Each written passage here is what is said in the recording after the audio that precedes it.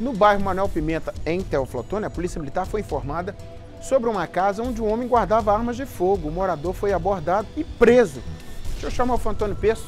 Fantônio, eu vi na foto lá, tinha garrucha, vasta munição. Você vai contar sobre essa ocorrência. É, Nicomedes, quando a polícia recebe informações de que uma pessoa tem armas de fogo em casa, Normalmente vocês imaginam, né? Um, um revólver, uma espingarda, uma polveira, mas preste bem atenção na imagem. Revólver calibre 32, 38, garrucha 22, munições em vários calibres.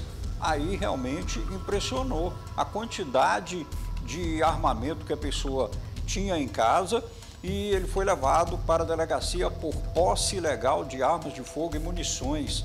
Evidentemente, as pessoas podem ter, desde que seja devidamente registrado, desde que tenha uma função específica para isso e que seja autorizado pela justiça que a pessoa tenha armas e munições em casa.